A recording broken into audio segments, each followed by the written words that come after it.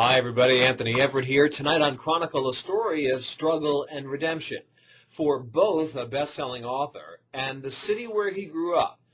Ted Reinstein introduces us to author Andre Dubus. So this is all, I mean, this looks significantly different. Oh yeah, it's it, it, it's a lovely town now. It's it's Yeah. it, it's very nice to see. It Yeah. kind of mirrors for me the changes I've gone through.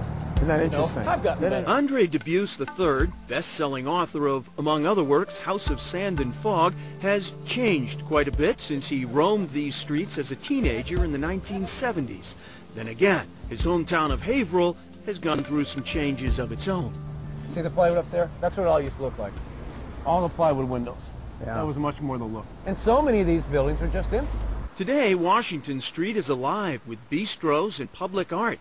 But the Haverhill Dubus describes in his new memoir, Townie, was a dark and dispirited place, shuttered factories, empty storefronts, short on hope, long on violence. My first fight when I became a fighter was in this This was here. bar room. A Punched the guy in the mouth, A kid had pushed a guy had pushed my brother down the stairs, and I. It's the first time I fought back, and I knocked his teeth out. It would be a signature moment for the 17-year-old Dubus, who'd always considered himself a coward. Also tonight, Ted introduces us to some of Haverhill's best-kept secrets and finds out more about how Andre Dubus went from street brawler to best-selling author. Hope you'll join us tonight for Townie on Chronicle at 7.30.